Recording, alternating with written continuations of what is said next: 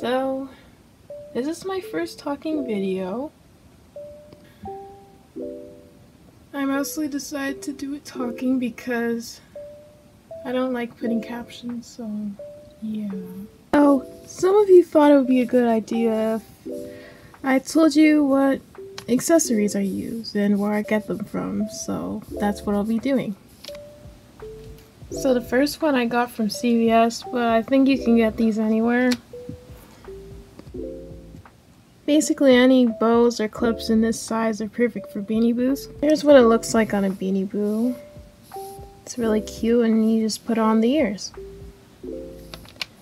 I usually don't put bows on my Beanie Boos, but now that I have more, I'm definitely going to be using them more. The next accessory I use a lot more in my videos, scrunchies. If you're wondering, a lot of people use scrunchies as skirts for Beanie Boos, and it's a really good idea.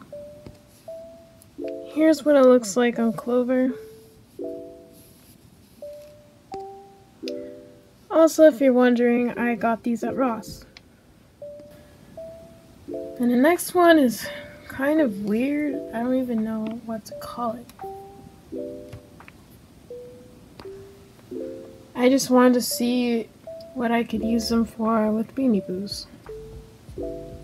I put this one on Phoenix as a hat, and I mean, I think it's kind of cute. So I guess they could be used as hats or maybe those headbands people wear to wash their face. And I put this one on Sydney as a backpack. I mean, it kind of looks like a weird skirt, but I mean, it's cute too.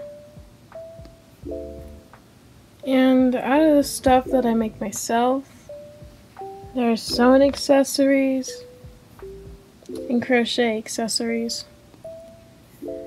You'll probably have to learn how to crochet to do this one, but maybe someday I'll do a tutorial.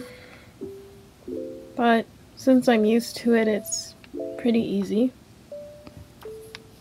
Then with sewing accessories, it's a lot harder for me, but you can watch a tutorial and it should be a lot easier.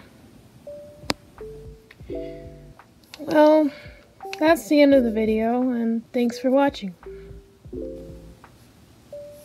Also, if you haven't already, please like and subscribe. I'm trying to get to 100 so I can film more films and series, so yeah.